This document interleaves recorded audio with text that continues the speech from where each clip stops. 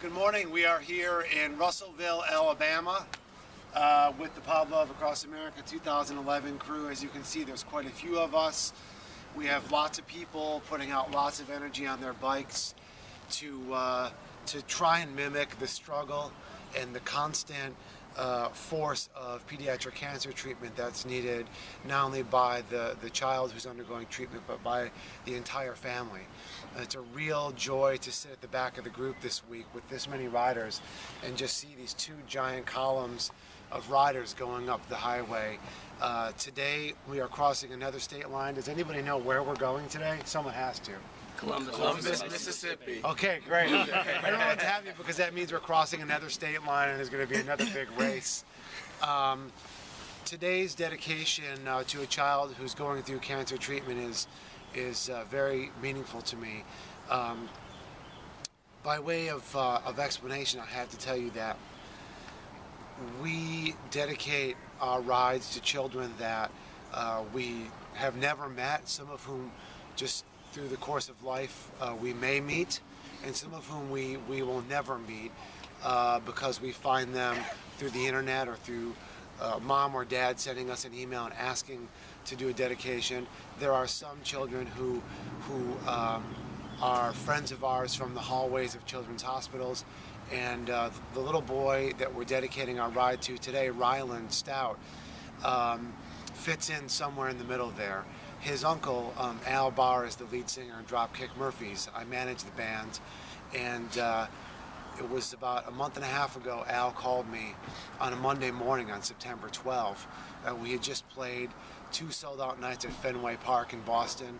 Uh, the prior Thursday and Friday, we were we were riding very high in the Dropkick Murphys camp. Everybody was elated. The shows went very well, and Al called me and he was distraught and he, he, he informed me that his little nephew, who's two years old, Ryland, had just been diagnosed with an inoperable, incurable brain tumor.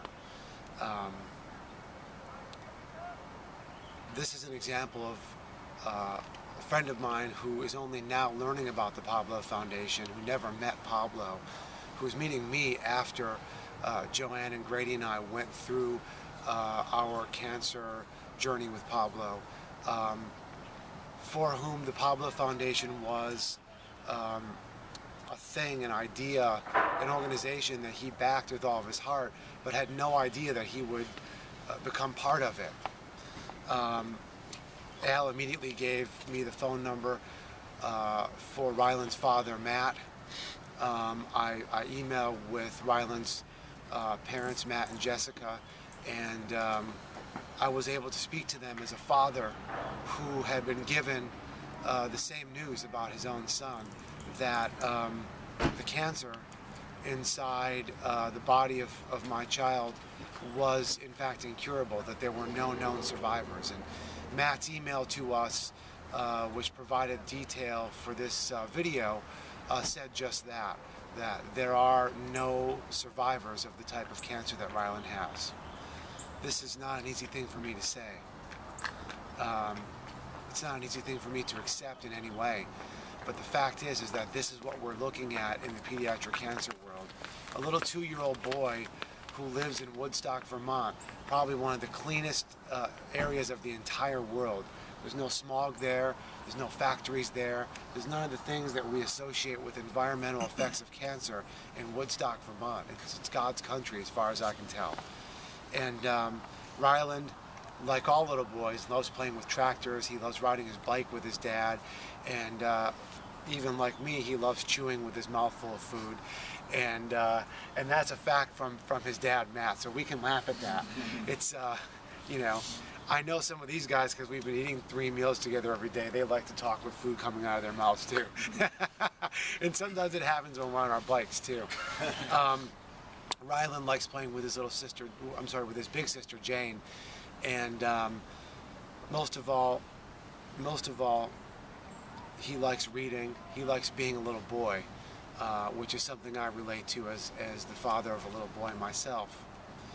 Um, when when I spoke to uh, Ryland's father, Matt, they were at uh, the hospital up at Dartmouth uh, in in Maine and uh, it's a great hospital there. They went down to Dana Farber Children's Hospital in Boston uh, to, to get a second opinion, which is something that any parent, we have two cancer parents here right now, uh, John and, and Adam.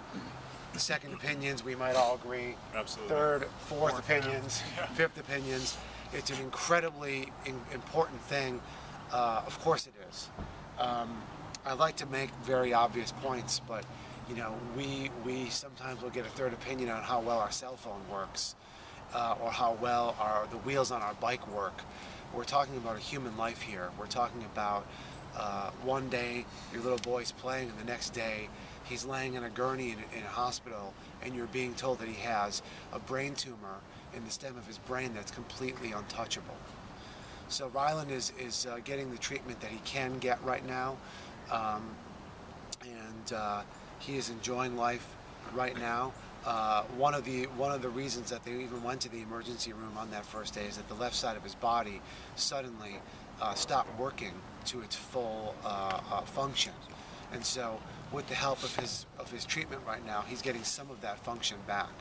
So as we ride our bikes today, and as we use all of our bodies to balance on our bikes and to ride the next uh, 80 or 90 miles uh, to the next town, we're going to hold Ryland uh, and the whole Stout family in our hearts, um, and we're gonna we're gonna really appreciate the fact that today our bodies work so that we can go out there and ride for the kids and the families who are going through pediatric cancer. This is this is why we're out here.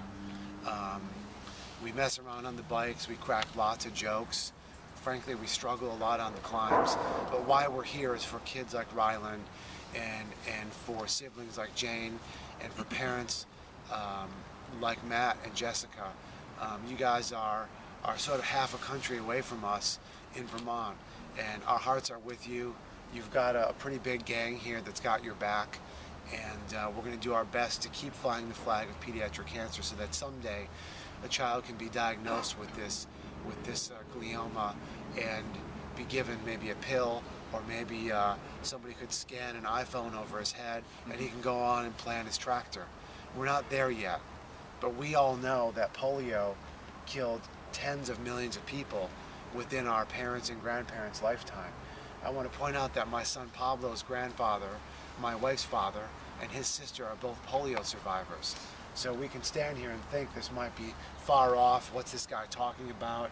He's out of his mind, but it's actually not that far off. If we all stand up and say, we're not going to take this, we need to directly fund research. We need to hold researchers accountable. And we need to fund them when and only when they reach the goals that they say they're going to reach. That's important stuff. We have to treat cancer like business because that's how things progress. Okay? That's the bottom line for me. We're going to get on our bikes now. And uh, Ryland, we're saying hi to you from uh, Alabama. And uh, keep rocking today, dude, okay?